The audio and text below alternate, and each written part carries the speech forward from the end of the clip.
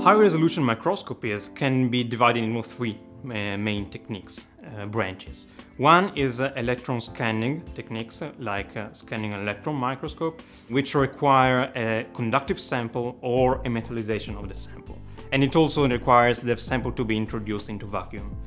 Uh, the second branch is scanning probe microscopies, uh, like scanning tunneling microscopy, um, which requires the sample to be conductive, but it also uh, achieve atomic resolution.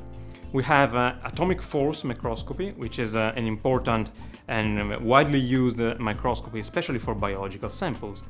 And we have, for example, scanning near field optical microscope. And the third branch of microscopies is optical microscopy. In this case, the uh, main problem is to achieve a, resolution higher than the Abbe limits, which is uh, half the wavelength. To overcome this, for example, uh, STED technique is to prepare the sample with a fluorescence uh, uh, substance.